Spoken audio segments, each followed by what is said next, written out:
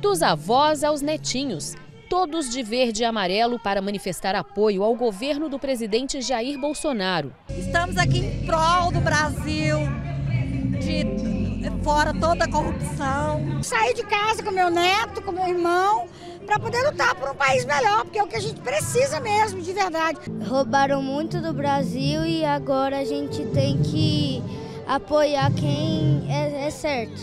Até o cachorrinho aderiu ao movimento. A concentração dos eleitores e simpatizantes de Bolsonaro aconteceu em frente à sede da Polícia Federal em Goiânia. Mais de 7 mil pessoas, segundo os organizadores, tomaram as ruas das imediações.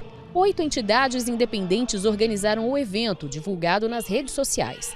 Entre as principais pautas do movimento estão o apoio à reforma da Previdência e o apoio ao pacote anticrime do ministro Sérgio Moro. Eu vim apoiar é, o governo Bolsonaro, a reforma trabalhista e mostrar nosso voto de indignação para quem está tentando impedir que esse ato seja feito. A gente tem que mudar esse Brasil. Só dessa forma mesmo, com todo mundo aqui junto, a gente vai mudar o Brasil. Depois, os manifestantes seguiram a pé até o Parque Vaca Brava, percorrendo atrás dos trios elétricos as principais avenidas dos setores Marista e Bueno.